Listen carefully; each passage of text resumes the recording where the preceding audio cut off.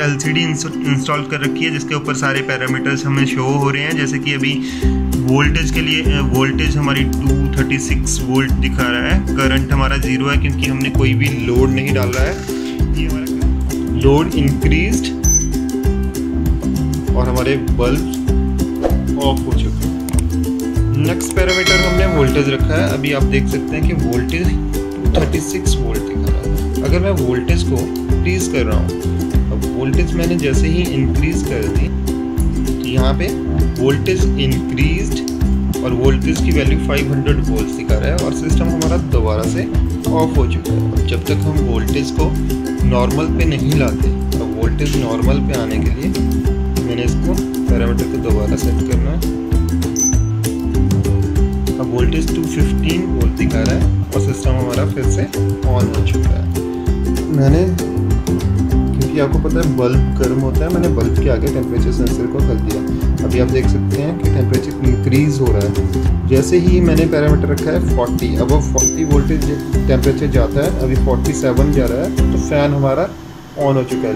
Means कि fan system को cool कर रहा है। अब जब तक टेम्परेचर हमारा 40 से नीचे नहीं जाता 40 से नीचे जैसे ही टेम्परेचर जाएगा तो उस टाइम पे हमारा फ़ैन बंद हो जाएगा। तो ये 48 है। जैसे मैं इसको फ़ैन की तरफ़ कर देता हूँ टेम्परेचर सेंसर को तो ये जल्दी कूल हो जाएगा। अभी टेम्परेचर 36 और फ़ैन बंद हो गया। सबसे पहले हमने थिंगस्पिक डॉट कॉम ओपन करना है। उसके बाद उसमें लॉगिन के लिए ऑप्शन आएगी। तो हमने लॉगिन पे क्लिक करना है। अब हमसे ये ईमेल आईडी पूछेगा, हमने ईमेल आईडी अपनी डाल दी पासवर्ड पूछेगा, हमने अपना पासवर्ड डाल दिया, जो भी उसमें रजिस्टर करा होगा। तो जैसे ही हम रजिस्टर करते हैं नेक्स्ट पेज में हम चले जाते हैं तो वहाँ पे ट्रांसफॉर्मर हेल्थ मॉनिटरिंग सिस्टम हमारा प्रोजेक्ट ओपन हो गया है। अब, आप देख सकते हैं, इसमें ग्राफ्स आ रहे हैं, कुछ transformer health monitoring system first में आ रहा है टेम्परेचर सेकंड में वोल्टेज और थर्ड में करंट अभी जैसे जैसे हमारे सिस्टम में वहाँ पे इंक्रीज हुए थे ये सारे पैरामीटर टेम्परेचर इंक्रीज हुआ था एक टाइम पे बहुत ज़्यादा जाके तो आप ग्राफ में देख सकते हैं कि टेम्परेचर हमारा यहाँ पे जाके इंक्रीज हुआ था।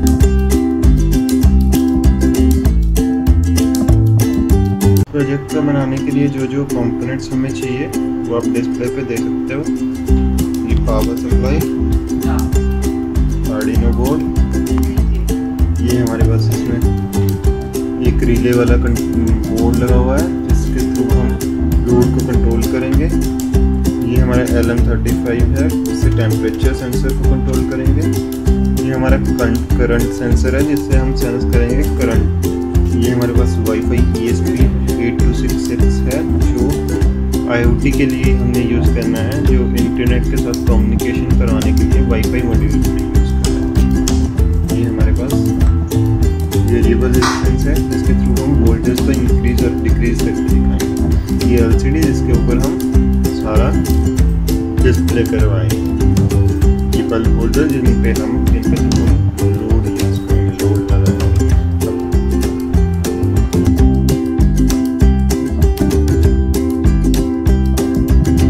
पावर को ऑन करते हैं। पावर बटन ऑन करने के बाद जैसे ही हम आर्डिनो को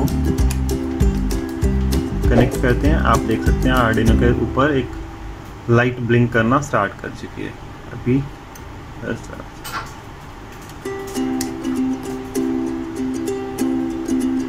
इस तरह से हमने अपने आर्डिनो के लिए सप्लाई बना ली है। कंप्लीट पावर सप्लाई हमने आर्डिनो के लिए बना लिया।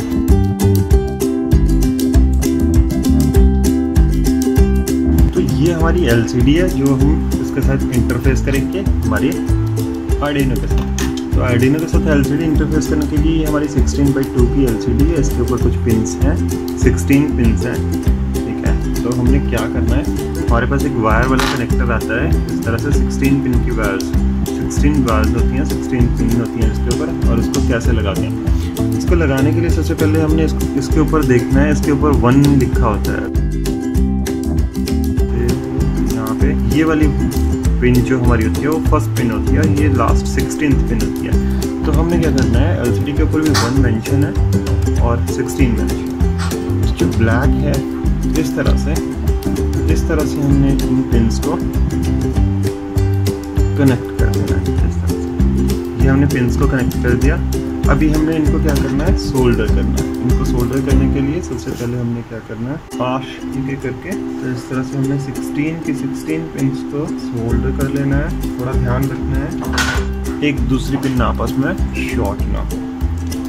तो इस तरह से आप देख सकते हैं कि मैंने सारी पिंस को सोल्डर कर दिया है और कोई भी पिन आपस में शॉर्ट नहीं है।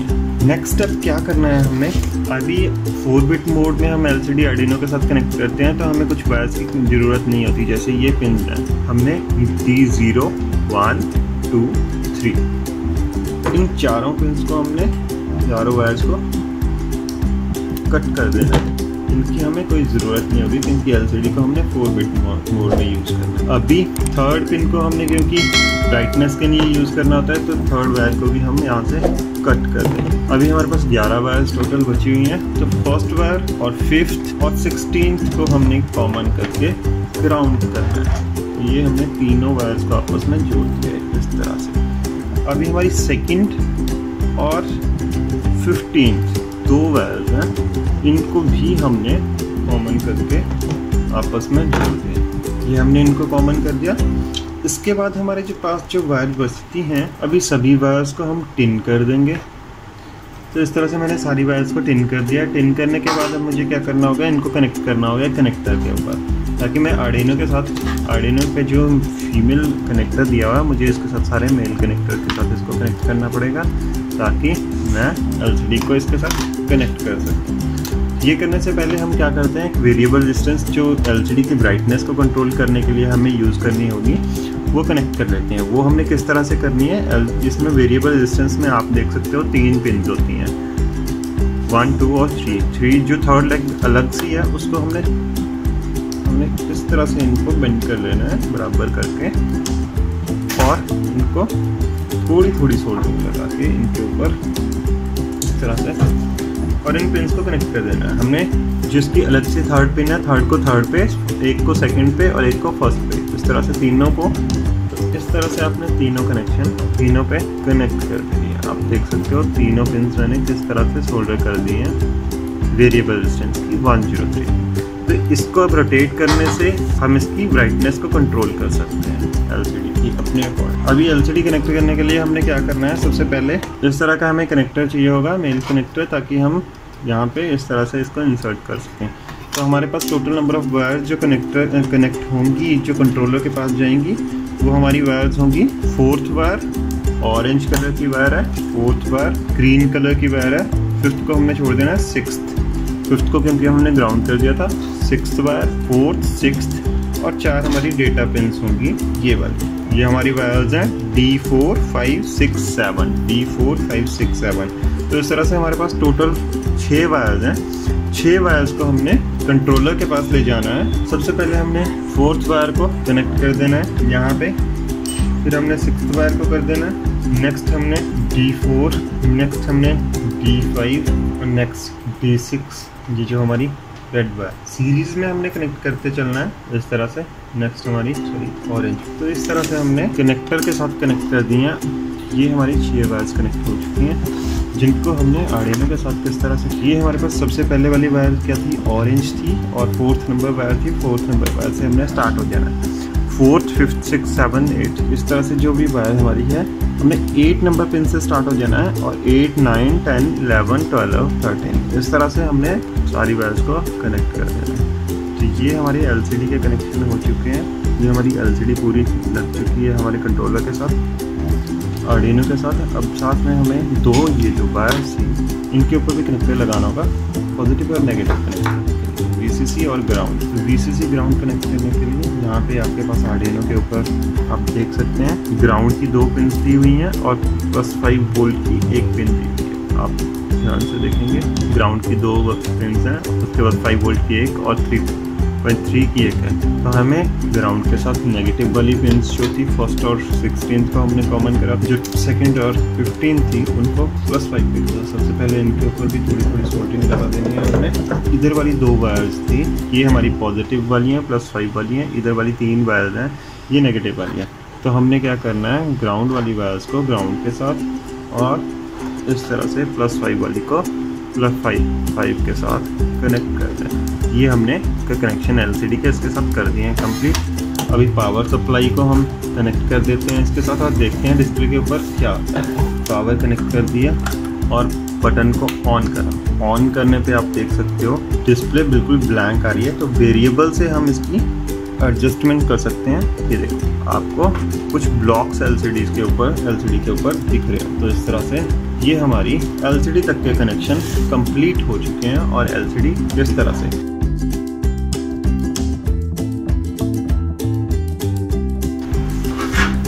अब हमने इसके साथ कर दिया इंटरफेस एक वेरिएबल रेजिस्टेंस ये वेरिएबल मीटर है। इसमें तीन वायर्स मैंने सोल्डर कर दिए हैं, तीनों पिंस के ऊपर। एक एक को हम ग्राउंड कर देंगे, एक को हम प्लस फाइव पे कनेक्ट कर देंगे और नेक्स्ट जो हमारी बीच वाली है, यहाँ से हम आउटपुट ले लेंगे येलो वाली वायर से। तो इनको अभी हमने देखो एलसीडी की वायर्स को कॉमन कर रखा था थी दो। तो हमने क्या करा ऑरेंज वाली वायर्स को उनके साथ ही इस तरह से और ग्राउंड वाली जो थी, उसको ग्राउंड के साथ कर दिया। और सिंगल वायर जो रह गई, वो इसकी आउटपुट की है, उसको हम बाद में यहाँ पे एनालॉग पिन पे कनेक्ट कर देंगे।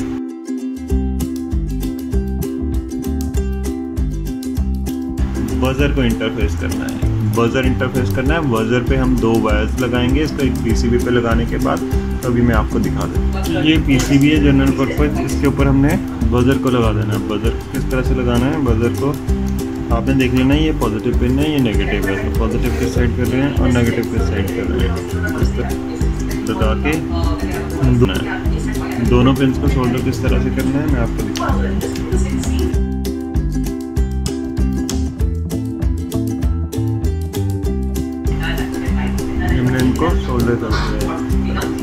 ये इस तरह से हमने बजर को दो वायर शोल्डर कर दिए अब हमने पॉजिटिव वाली वायर को क्या करना है? कनेक्ट कर देना है, जहाँ पे हमने सारे पॉजिटिव कनेक्शन करे थे। तो यहाँ पे हमने पॉजिटिव कनेक्शन सारे करे थे तो यहीं पे हम ये वाला पॉजिटिव कनेक्शन भी अपना इसी के साथ कर देंगे।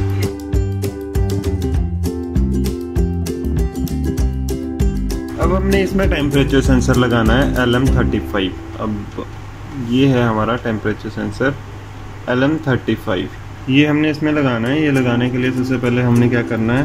तीनों लेग्स को पीसीबी के ऊपर लगा देना है। फ़र्स्ट को वीसीसी कर देना है प्लस फाइव वोल्ट दे देना है और सेकंड से आउटपुट लेनी है और थर्ड को ग्राउंड कर देना है। फ़र्स्ट वीसीसी सेकंड से आउटपुट और थर्ड को ग्राउंड करना है। तो इस तरह से अभी मैं इसको सोल्डर कर दूँगा। ये हमने तीन वायर्स ले लिए हैं। तीनों वायर्स को यहाँ पे सोल्डर कर देंगे।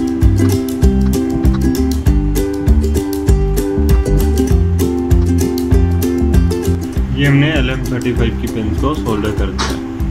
इस तरह से। नेक्स्ट हमने इसके साथ एल एम थर्टी फाइव के साथ तीन वायर्स कनेक्ट करनी है।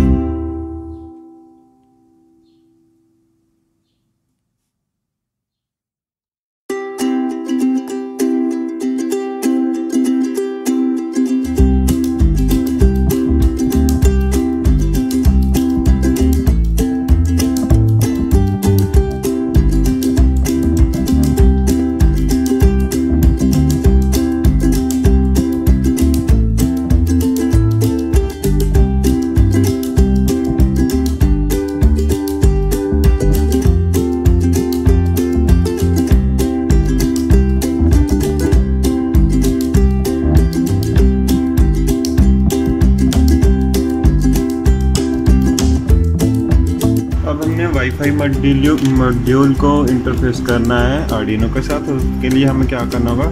चार वायर्स कनेक्ट करनी है। एक plus three point three volt पे जाएगी, दूसरी ग्राउंड पे और तीसरी R X T X pin पे। तीसरी और चौथी। तो इस तरह से हम यहाँ पे इनको सोल्डर करेंगे। तो एक बार देख लेते हैं किस तरह से करना है।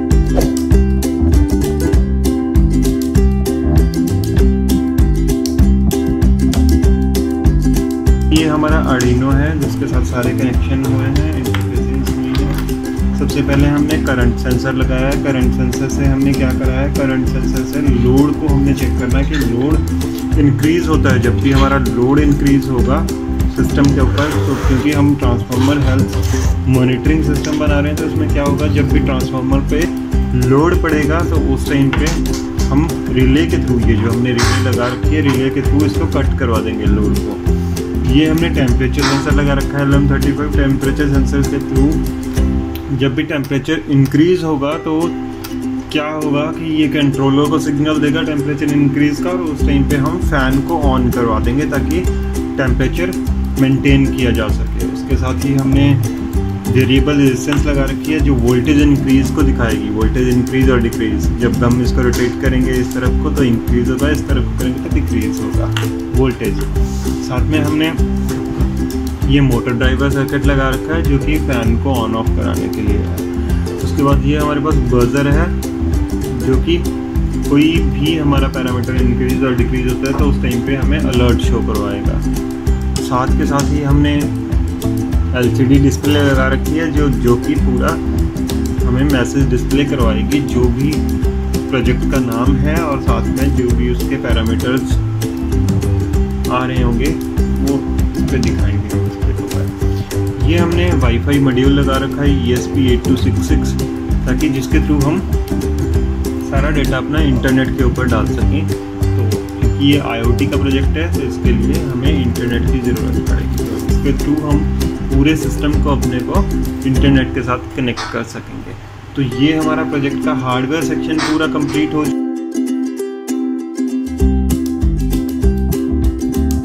मैं आपको इस प्रोजेक्ट को वर्क करके दिखा देता हूँ, इसकी वर्किंग दिखा देता हूँ। सबसे पहले, अभी इसमें कोई भी लोड इंस्टॉल नहीं है तो इसमें करंट की वैल्यू 0.02 समथिंग आ रही है। अब मैं इसमें एक बल्ब इंस्टॉल करने जा रहा हूँ। तो जैसे ही मैंने इसमें एक 100 वॉट का बल्ब इंस्टॉल कर दिया, अभी इसमें आप देखेंगे कि करंट की जो वैल्यू है इंक्रीज़ हो जाएगी। क्योंकि ये इंटरनेट के साथ भी कम्युनिकेट करता रहता है तो थोड़ा सा टाइम वैल्यूज़ को आने में लगता है। जैसे अभी आप देख सकते हैं, यहाँ पे वैल्यूज़ करंट की 0.39 राउंड अबाउट होगी। तो अभी का मतलब लोड हमारा नॉर्मल है इंक्रीज नहीं हुआ है तो हमारा सिस्टम पूरा प्रॉपरली वर्क कर रहा है। तो जैसे ही मैं इसमें ओवरलोड मीन्स कि अगर मैं कोई लोड इंक्रीज कर देता हूँ, अभी हमारा लोड मैं यहाँ पे एक और बल्ब इंस्टॉल कर रहा हूँ तो जैसे ही मैंने इसमें एक और बल्ब इंस्टॉल किया तो सिस्टम ओवरलोड हो चुका है। अभी करंट की वैल्यू आप देख सकते हैं, थोड़ी देर में चेंज हो जाएगी क्योंकि ये इंटरनेट के साथ कम्युनिकेट करता है प्रोजेक्ट तो थोड़ा सा अपलोडिंग में टाइम लगता है। तो अभी आप देखेंगे कि करंट की वैल्यूज़ इंक्रीज़ हो जाएँगी। करंट की वैल्यूज़ इंक्रीज़ होते ही हमारा सिस्टम ओवरलोड दिखा के डिस्प्ले करके और लोड हमारा बढ़ जाएगा और सिस्टम हमारा बंद हो जाएगा। रिले ऑफ़ हो जाएगी। लोड इंक्रीज और करंट की वैल्यू जो दिखा रहा था 0.58 और हमारे बल्ब ऑफ़ हो चुके। अभी मैंने क्या करा? लोड को निकाल दिया। तो मैंने ओवरलोड को जैसे ही निकाल दिया, अभी हमारा सिस्टम दोबारा से ऑन हो जाएगा। अभी सिस्टम ऑन हो चुका है करंट की वैल्यूज़ 39 करंट की वैल्यूज़ आप देख सकते हैं। नेक्स्ट पैरामीटर हमने वोल्टेज रखा है। अभी आप देख सकते हैं कि वोल्टेज 236 वोल्ट दिखा रहा है। अगर मैं वोल्टेज को through variable resistance potentiometer increase कर रहा हूँ, अब वोल्टेज मैंने जैसे ही इंक्रीज कर दी तो यहाँ पे वोल्टेज इंक्रीज और वोल्टेज की वैल्यू 500 हंड्रेड वोल्ट दिखा रहा है और सिस्टम हमारा दोबारा से ऑफ़ हो चुका है। अब जब तक हम वोल्टेज को नॉर्मल पे नहीं लाते अब वोल्टेज नॉर्मल पे आने के लिए मैंने इसको पैरामीटर को दोबारा सेट करना है। अब वोल्टेज 215 वोल्ट दिखा रहा है और सिस्टम हमारा फिर से ऑन हो चुका है। नेक्स्ट हमारा जो है वो टेम्परेचर सेंसर अभी आप देख सकते हैं टेम्परेचर की वैल्यू 28 डिग्री सेल्सियस आ रही है। तो मैंने, क्योंकि आपको पता है बल्ब गर्म होता है, मैंने बल्ब के आगे टेम्परेचर सेंसर को कर दिया। अभी आप देख सकते हैं कि टेम्परेचर इंक्रीज हो रहा है। जैसे ही मैंने पैरामीटर रखा है 40 अब वो 40 वोल्टेज टेम्परेचर जाता है, अभी 47 जा रहा है तो फ़ैन हमारा ऑन हो चुका है। मीन्स कि फ़ैन सिस्टम को कूल कर रहा है। अब जब तक टेम्परेचर हमारा 40 से नीचे नहीं जाता 40 से नीचे जैसे ही टेम्परेचर जाएगा तो उस टाइम पे हमारा फ़ैन बंद हो जाएगा। ये 48 है, जैसे मैं इसको फ़ैन की तरफ़ कर देता हूँ टेम्परेचर सेंसर को।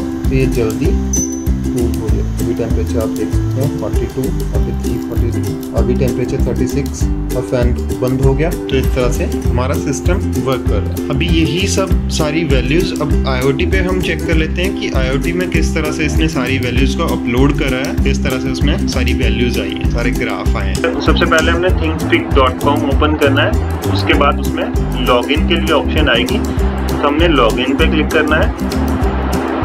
अब हमसे ये ईमेल आईडी पूछेगा, हमने ईमेल आईडी अपनी डाल दी पासवर्ड पूछेगा, हमने अपना पासवर्ड डाल दिया, जो भी उसमें रजिस्टर करा होगा। तो जैसे ही हम रजिस्टर करते हैं नेक्स्ट पेज में हम चले जाते हैं तो वहाँ पे ट्रांसफॉर्मर हेल्थ मॉनिटरिंग सिस्टम हमारा प्रोजेक्ट ओपन हो गया है।